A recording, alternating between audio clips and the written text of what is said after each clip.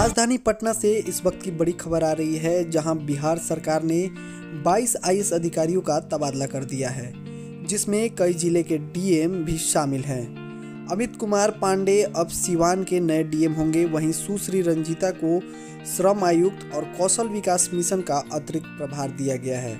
आइए आपको बताते हैं कौन है सिवान के नए डीएम अमित कुमार पांडे।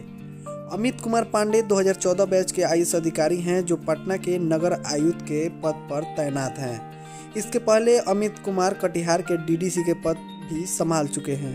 अब नीतीश कुमार ने उन्हें सिवान ज़िले की बागडोर सौंपी है। आपको बता दें कि पूरे बिहार में 22 आईएएस अधिकारियों का तबादला हुआ है, जबकि तीन आईएएस को अतिरिक्त प्रभार दिया गया है। वहीं सिवान के पूर्व एसडीएम अमन समीर को बक्सर का डीएम बनाया गया है।